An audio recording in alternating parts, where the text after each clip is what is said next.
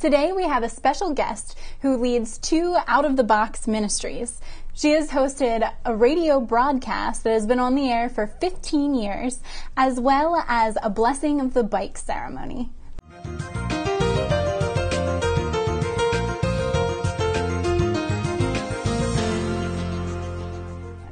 Thank you so much for coming, Reverend Carol. Thank you. so tell us a little bit about your radio program, Faith Break. Faith Break began 15 years ago as an idea that I had after receiving from United Methodist Communications a big envelope that had 30 and 60 second spots in it, scripts. And I took that idea to our board at church. And on the third try, they finally decided that if I was going to talk about it forever, that they might as well go ahead and try it. So we uh, began broadcasting on classic rock. Uh, at a radio station, Q94 Classic Rock in Altoona.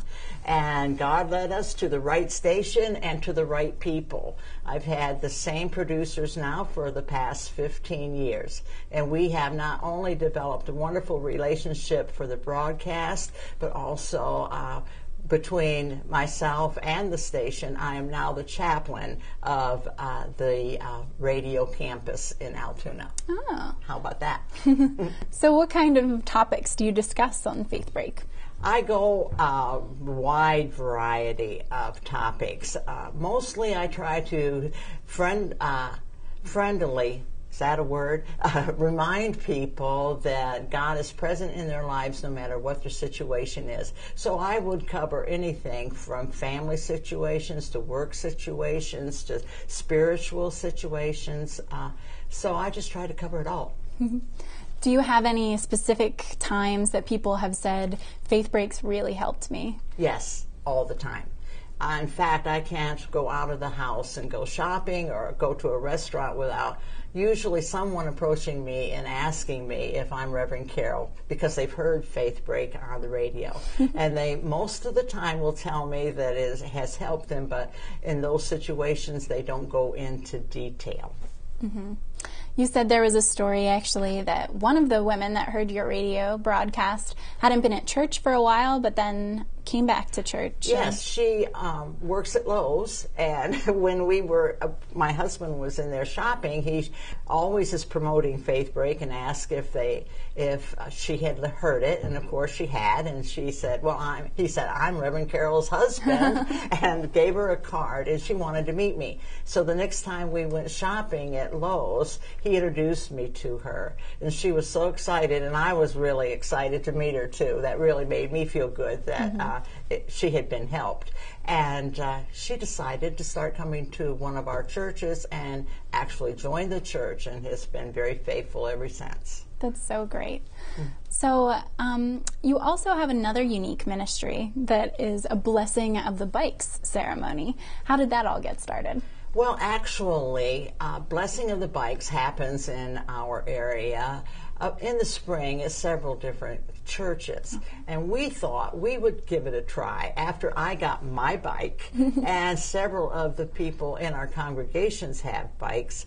We decided that would be a fun Sunday afternoon service to have. So we have a pavilion at our church, and we all gather there at the pavilion. It's kind of neat to watch the uh, bikes all start coming in because we're in an open space and have them come in and up in and park for uh, the actual ceremony. So I keep it very simple and I greet everyone. And they're, of course, all out looking at each other's bikes because everybody wants to know what kind of bike that someone else have. Mm-hmm. And of course, Reverend Carol's bike, the Spyder, is taking uh, center stage right now. but after we uh, have some time together, we have a prayer and and visit and, and I have a blessing with them for each bike, bike uh, individual. Now, it's not just uh, motorcycles, though. Okay. The kids bring their tricycles. Oh, okay. And this year I told them if it had wheels, they could bring it.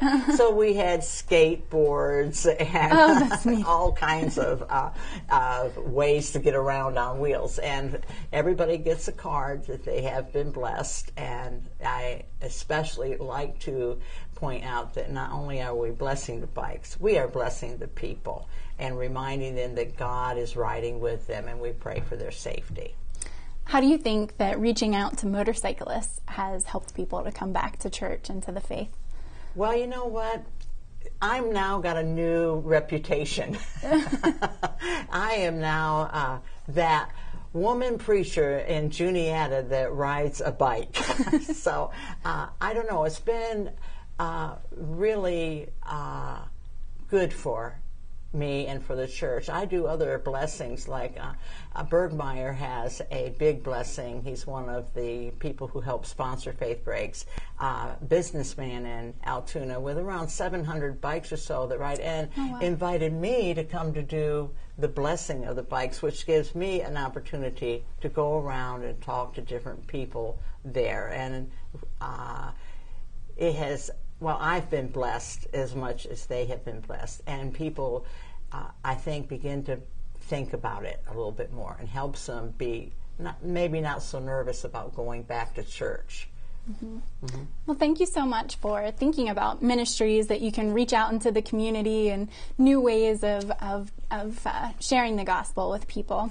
yes And thank you for watching. So you can comment on my Facebook page or my blog at susquehannaexpress.blogspot.com.